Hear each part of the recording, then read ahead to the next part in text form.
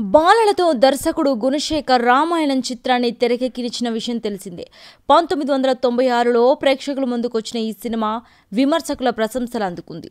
అలాంటి ఈ సినిమాలో రాముడిగా జూనియర్ ఎన్టీఆర్ సీతాదేవిగా స్మితా మాధవ్ నటించారు. ఆ ఏడాది ఉత్తమ బాలల చిత్రంగా ఈ సినిమాకు జాతీయ అవార్డు దక్కింది. ఈ సినిమా తాజాగా ఇరవై ఐదేళ్ళు పూర్తి చేసుకుంది. బాలల రామాయణంలో జూనియర్ ఎన్టీఆర్ తర్వాత ఆ స్థాయిలో విమర్శకుల ప్రశంసలు అందుకున్న నటి స్మితా మాధవ్.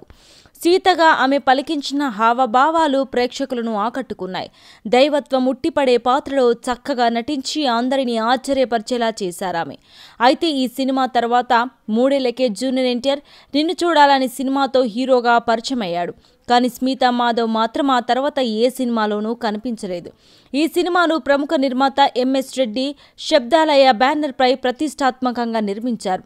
గుణశేఖర్ ఎంతో కష్టపడి ఈ సినిమాను పూర్తి చేశాడు. అయితే ఈ ఈ సినిమాలో సీతాదేవి పాత్ర కోసం అంతా జల్లడ పడుతున్నారు అప్పటికే స్మితా మాధవ్ హైదరాబాద్లోని నాజర్ స్కూల్లో ఆరవ తరగతి చదువుతున్నారు. నాట్యం సంగీతంలో శిక్షణ తీసుకుంటున్నారు. ఓ రోజు ఆమె ప్రదర్శనకు సంబంధించిన ఫోటోలు పేపర్లో రావడంతో దర్శక నిర్మాతలిద్దరూ ఆమె ఇంటికి వెళ్ళారు అయితే ఈ సినిమాలో నటించడం అనగానే ఆమె తాతగారు మొదట ఒప్పుకోలేదు. కానీ రాముడి సినిమా అని అందులో సీత పాత్ర అని వారు ఒప్పించారు. అలా రెండేళ్ళ పాటు ఈ సినిమాను తెరకెక్కించారు.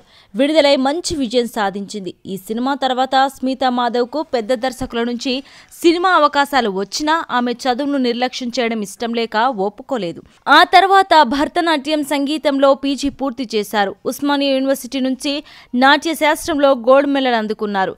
చెన్నైకి చెందిన కేశవ్ను పెళ్ళి చేసుకుని సెటిల్ అయ్యారు.